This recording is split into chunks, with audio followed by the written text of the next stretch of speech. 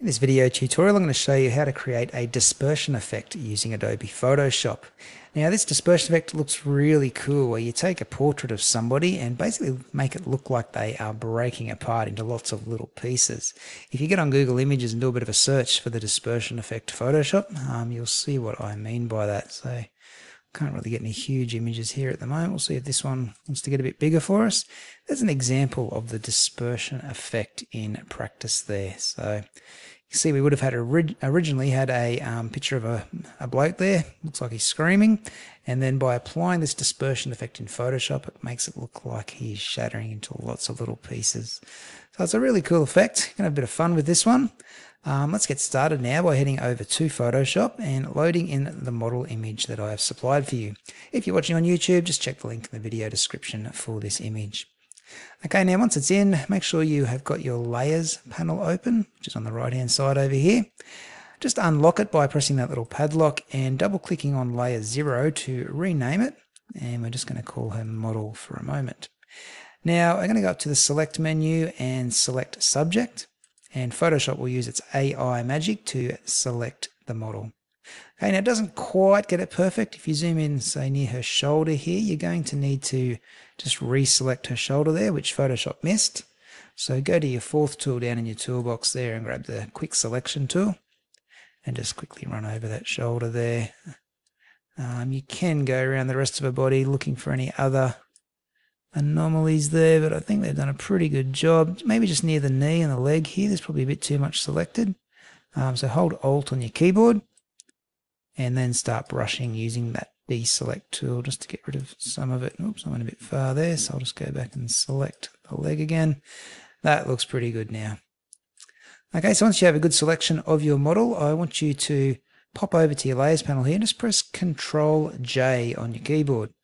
That will duplicate that layer, make a copy of it, but it doesn't um, have the background with it. So if I just hide that original layer for a sec, you can see it's duplicated the layer, um, but it's got rid of that background, which is what we were looking for. And that means we can delete this model layer now. We don't need it anymore. We just want this new layer. And we can rename that to model, um, just to take place of the previous layer. Okay, we're going to start the dispersion effect now by making sure our model layer is selected and heading up to the filter menu and looking for the liquify filter. Now, the liquify filter is a pretty cool one. That's what a lot of um, photo retouchers use to actually enhance the look of models in their publications to make them look a bit skinnier or have certain body parts a bit bigger or smaller.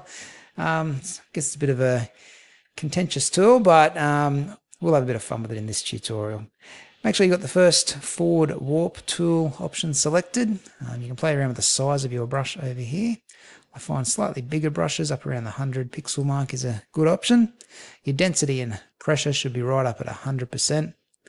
And then all you need to do is just start hovering around the right side of her body, so towards the back, and just start clicking and dragging and you're going to start clicking and dragging out her body. Now be careful, we only want the right hand edge of her body, so the back part of her. Try not to mess with anything on the left hand side there. We don't want to mess with a hand, don't want to mess with a face. We want all the body parts to remain intact apart from this right hand side. Now once you've started pulling it out, go back over it. Okay, we want this to stretch all the way to the edge of the page. So you're going to have to keep doing this uh, for a little while before you are able to stretch it out. Now you can make your brush size a bit bigger again if you'd like to give it a bit of a bigger one there. Uh, probably a bit too big there. It looks a bit funny, but go through and just keep pulling that out until most of those bits stretch out over the edge of the page. I might even pull that up towards the top there. You can have a few little gaps here and there, that doesn't matter. Now we might come back and do this front leg, I'm not sure yet. I might just leave it as is for the time being, but I think it might look alright if we just give that a bit of a dispersion effect too, but I guess we'll see later on. Click OK once you've got yours looking pretty similar to mine and most of that right side of her body is stretched out to the right hand side of the page. Remembering face should still be intact and most of the body, especially the hand, and this front leg should still be intact. Click OK. Alright, so we stretched it right out here. The next thing we're going to do is create a layer mask. We're going to do it slightly different to usual. We're going to hold the Alt key on our keyboard and then press the Create Layer Mask button down the bottom here. And what that will do will make a black layer mask, which means it completely hides um, the image underneath it. But we'll bring it back in just a moment with a bit of painting. Okay, so what we're going to do now is grab our brush tool from our toolbox, looks like a paintbrush, and head up the top to where we've got all our different brushes. Now usually I think we have the soft round brush in general brushes they're selected. We're going to get rid of that today and go right to the bottom of these folders and choose the special effect brushes. Now you've got a couple here that are some nice splattery brushes. Okay, we're going to start with the first one, Spatterbot Tilt. Uh, you can play around with the Supreme Splatter and the Pressure Control Splatter if you want, um, but probably just the first two will be all we need today. Remember you can play with the size up here too. I like changing the size of my brush using the square brackets next to the letter P on your keyboard. So the left square bracket makes it smaller, the right one makes it bigger. All right, so what we're going to do now um, is we are going to start painting onto the page. Just make sure down the bottom here that you've got the white box on top, which is going to reveal that um, model that we just hit a moment ago. And we should be good to go. So yes, I've got size 100, got my brush. Let's go for it. So start in the middle of the page and just click and drag down you'll start to see this splattery kind of effect appearing on the page. Now towards the left side of the model, we can just hold it down and keep moving up and down. And that's going to reveal the left side of her body, which is good. But don't go to the right side too much just yet. We're going to do something a little bit different for that. Okay, so that's looking pretty good. I might even go a bit smaller around 70 mark and just get a bit more of a face in. And reveal a bit more of the middle part there. There's the hand. I'm looking for the hand. We want to reveal that as well. Okay, now this is looking pretty good. So that's not a bad start. Might just sit tight there like that for now. And I'm going to make my brush a bit bigger. So I'm going to go up to, oh, let's say about 300 and just click now. Not click and drag, but just click a few times. Over the other side, I'll go bigger again and move more to the right. I want these bigger splatters more to the right side of the page. Okay, little splatters close to the body big splatters further away. And then I'm going to go a bit smaller again, maybe around the 200s, and just start clicking now in closer to our model. And it's just a matter of doing that over and over again, different size brushes for different effects. And we're going to get that kind of splatter effect. Now that's getting a bit hard to see because of our transparent background. So let's hold up there for a minute and bring in a background to make it look a little bit better. Now I've given you access to a backdrop. Um, again, if you're on YouTube, you know what to do. Click the link in the video description, but I'm going to drop that into my Photoshop document and just hold Alt to stretch it out so it fills the entire page. Press the tick and drag that backdrop below our model layer. Okay, so now we can start to see things a little bit clearer. And this is looking all right. Um, what I might do is make that background a bit darker actually. I still think it's a little bit light. So to do that, a few ways we could do it. I might just add in a new layer. And I'm going to make it black. So I'm just going to quickly head over to these two colors and make black on top. Go to Edit, Fill, and OK. Now nothing really happens there because the black um, layer is right on the bottom. So I'm just going to write black backdrop as that layer name. But what I'm going to do is change this blue backdrop. I should probably call it blue backdrop. I'm going to just change the opacity, which is how transparent it is. And if I lower that number, it's going to start to reveal the black um, behind it, so the black backdrop behind it. So I drop that down around, well, let's say about 50% for now, that really darkens it off and we can see this effect shining through quite nicely. Now, if you want to go back and um, edit your dispersion effect there, you'll need to click back on that little layer mask we made before. So that little black and white layer mask. Grab your brush tool again. Uh, make sure the white color is on top out of those two little squares.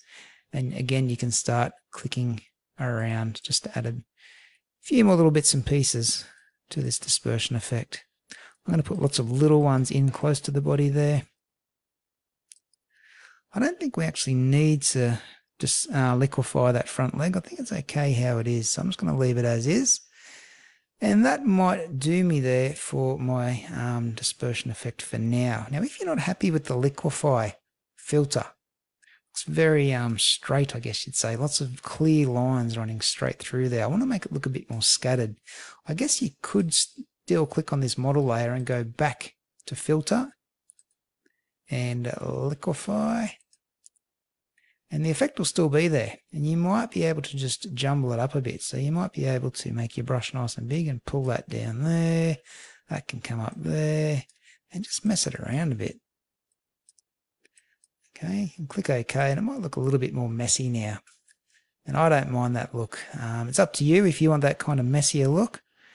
Uh, but that's just what I think looks alright now the last thing I want to do here is probably just darken my model a bit. She's a little bit bright for this image. It's, I know she's a bit too happy for it too. It's got a kind of edgy and grungy kind of effect, so I probably should have chose a better model, but we'll make her a bit darker, um, just so she suits the scene. So on the model layer, come down the bottom here where you can add in an adjustment layer.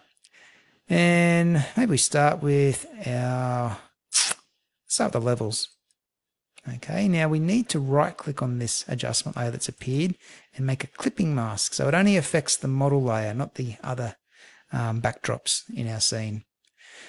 Okay, now just play around with these three levers. If we pull this end lever up to the left, it's going to make it brighter, which is what we don't want. So it's a matter of moving these other two levers to the right a little bit to make her a bit darker. Um, yeah, there we go. That doesn't look too bad. Now, if you want, there probably are a few other um, adjustments you could make. Hue and saturation wouldn't be a bad one. So saturation is how vibrant the colors are and the hue you can change the tone of the image. So again, right click on the hue and saturation adjustment layer and make a clipping mask so it only affects our model. I'm going to turn the saturation down a little bit so she's not as vibrant in color. Might even turn the lightness down a little bit as well, not too much. If you want, play around with the hue, see if any of those other hues look good. I don't think we really need to touch that though. It's mainly the saturation and the lightness. Alright, now I'm sure there are some other adjustments you could make if you wanted to. You could turn it black and white, you could play around with the brightness and contrast and so on, but I think I might leave it as is um, for now. Alright, so that is looking pretty good. Maybe a final crop wouldn't hurt just to crop off some of that side there. So I'm going to grab the crop tool, which is the fifth tool in my toolbox. Just drag the edges down. That just crops the image a little bit.